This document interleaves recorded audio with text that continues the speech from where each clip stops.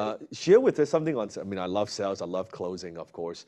Uh, talk to us about uh, how you run your sales team and how that integrates with your, your marketing. What's, what's, what have you learned that's been the most valuable?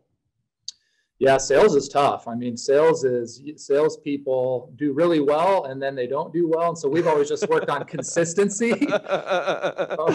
exactly. I can relate. I can relate. Yeah. Yeah. It's kind of like golf. You have a great day and then you're totally off the next day and you have no idea why. Um, yeah. And yeah. so salespeople, you know, we have a lot of meetings, sales meeting, keep them motivated. Um, we have sales decks, which are basically their guides that mm-hmm. they use their own brand voice. They can go their own direction, but that's helped you know increase consistency for sure. Do you um, do only inbound front. or outbound or both? Inbound, all inbound. inbound. We don't do any outbound. Okay. Yeah.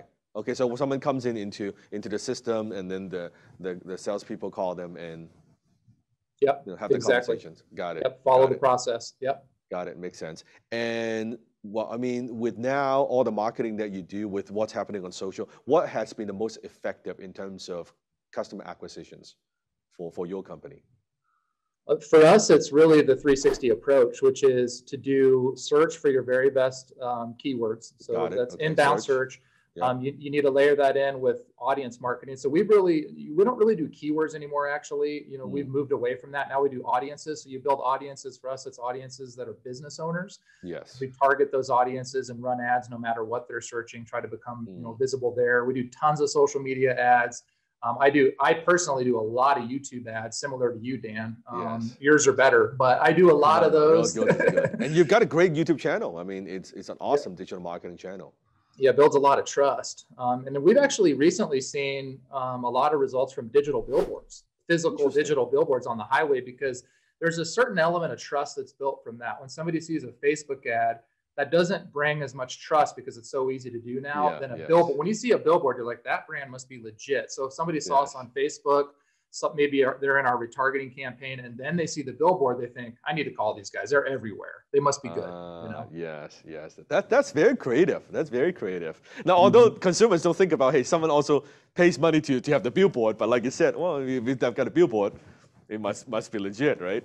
Exactly. Yeah. And and with, with the so a little bit organic, pay, search, all, all the all the things that you actually do within yeah. Marketing 360, you, you teach what you do, right? Which which is which is awesome. Okay. Uh, with, with the with the the marketing with what's happening now, also you know with the retargeting with the with Apple, right, iOS, what, what are you recommending to your your clients, right, your your users, right? How do they adapt to some of these changes in terms of Facebook policy or iPhone or all yeah. these things that's happening?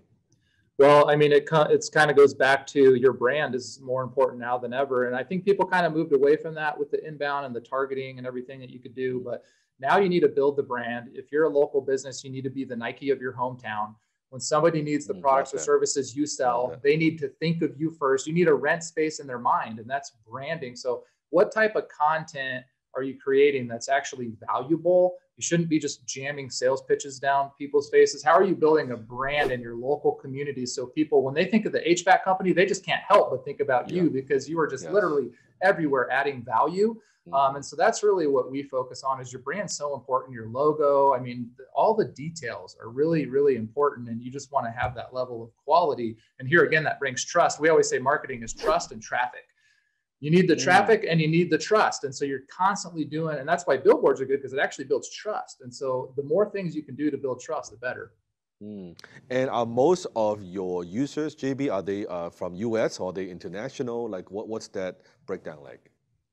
Uh, they're mostly US, about 85%, and then we have about 15% outside the US, mostly English speaking, so Canada, Australia. Canada, um, awesome.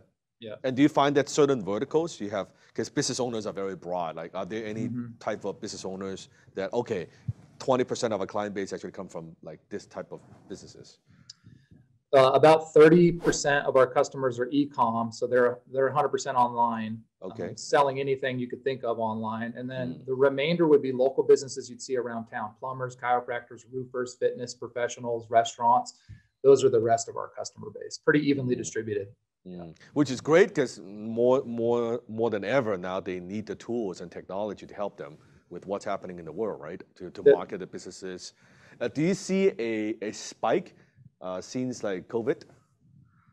in certain verticals. Yes, in the verticals. E-commerce for sure. Um, e-commerce has seen a spike. Um, also, local businesses just wanting more of a, a, stronger digital presence, the ability to take payments and stuff. You'd be surprised. I mean, business owners even just a year ago only accepted check, which was crazy. But now they're embracing like we need to be able to take online payments. We need to be able to do those types of things. So that part of it's been good. You know, certain verticals like restaurants, they took a huge hit. We had we had a lot of them. We had a lot of gyms. Gyms got gyms, hammered. Yeah, yeah, yeah fitness. Yeah, yeah, yeah. But luckily, the essential businesses kept cranking, so that was good. Mm-hmm. And do you find the what's a typical uh, like a lifetime value of a customer? Assume once they, they come into the system, they probably stick with you guys for a long, long time. Yeah, um, it's we have a six month window where it's essentially a paid trial. We have a six month agreement where mm. we try to understand if this is going to work for you, and if they make it past that, they stay a really long time. So the lifetime value is about for us right now is about forty one thousand for us. Mm mm. um, which is really good. In the first six months, we our payback is in three to four months from mm. our acquisition cost, which is pretty good. So yes. if, if they stay at least six months, it's like a free trade basically coming from yeah. the trading industry. And after that, you just see the gains. Yes, yes. And then the probably that's why the onboarding, the activation, that I'm assuming is very critical for you guys. Yeah, it's a pretty intense process, the onboarding, the activation, and then you know, with marketing, it's still a partnership. We can do the best marketing in the world and drive you mm. great leads, but you still got to dunk it in and close the deal. So if you're not mm. clo- calling the leads and have a good sales process, then yes. it's still not going to work. And so that's why it's kind of a discovery period. It is. It is. And, and the business owners, they might also need some some sales training on, on how to best convert those leads as well, right? Uh, all yeah, all the time. Yeah.